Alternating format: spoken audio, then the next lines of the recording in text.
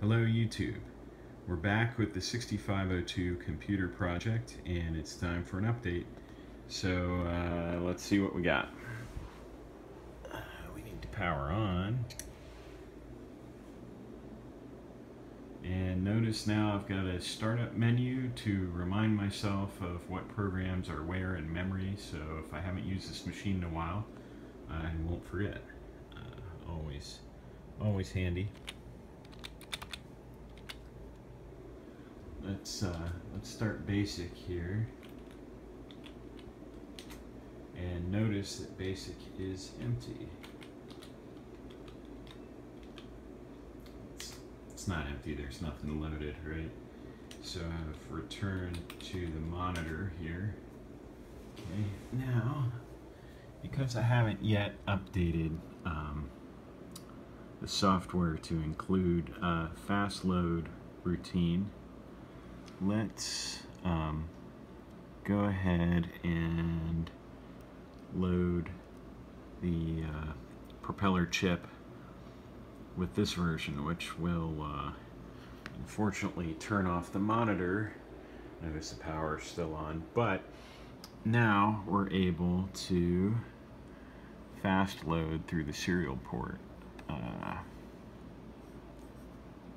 and I should mention uh, I no longer need the uh, propeller plug. Everything is going through the serial interface, which now has hardware handshaking. So let's connect the terminal program here. And let us load a game of checkers. This program uh, was from the late mid 70s, I believe, and Vince Briel converted it uh, to work with his Replica 1, and uh, he's been really cool about sharing uh, the software that comes with the Replica 1 online, so I've downloaded it, and we're going to use this uh, version of Checkers here for a quick demo. So um, notice this is not loading as fast as a disk drive, of course, but uh, without the uh, hardware handshake uh, with the serial port, this was like so slow you could literally go and make a pizza or something and then come back and it would just be finishing up. So there it goes. But what I'm going to do is I'm going to error the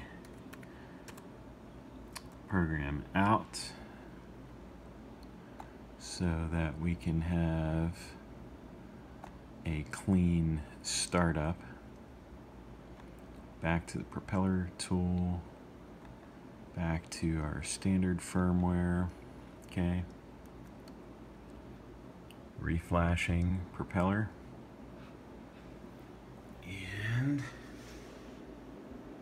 Boom, back in business.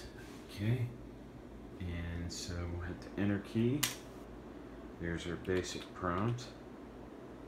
Uh, notice I have fat fingered, but fortunately the firmware I've got has got a working delete, which is a real pleasure, believe me. Um, okay, now uh, We've got this program resident in BASIC.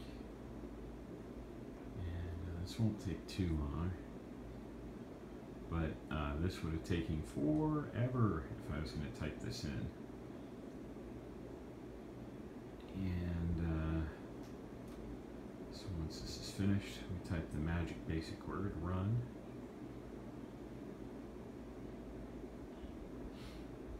which we'll do as soon as this is done here. I think it's pretty close.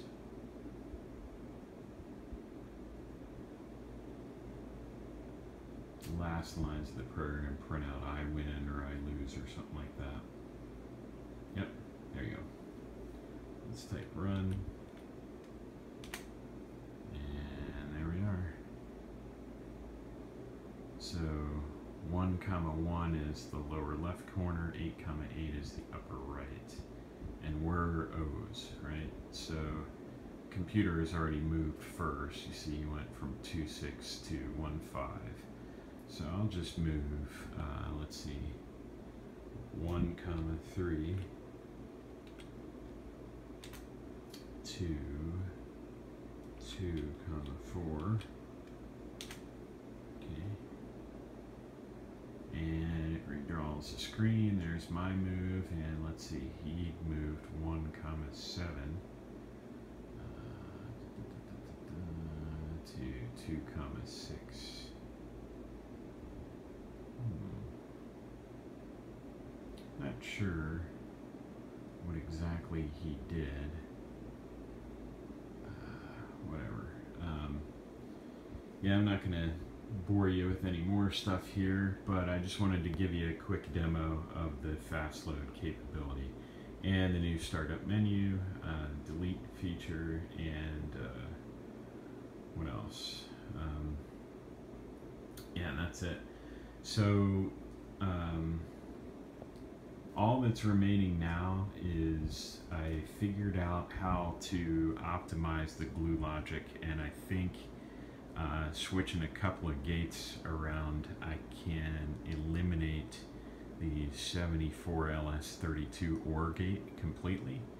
Um, and also that has the added benefit of using every single gate with the um, with the remaining glue logic chips so I don't have to um, ground the unused inputs which is standard practice. So that's actually saving a lot of parts. One less chip and probably I don't know five or so resistors to ground. Um, I've got the board drawn out as it sits here in this breadboard currently um, in EagleCAD and board's all routed uh, with nothing left to do. It's ready to make, but I still I want to eliminate that one more uh, chip. And uh, once that's done, I'll probably have to uh, reroute it and touch it up a bit. But then I'm positively ready to have the boards made, and then uh, we'll populate it and uh, update the firmware some more. And I'd like to make a fancy case for this machine. Anyways, that is it for this update. Short, sweet. Uh, thank you for watching, and we'll see you next time.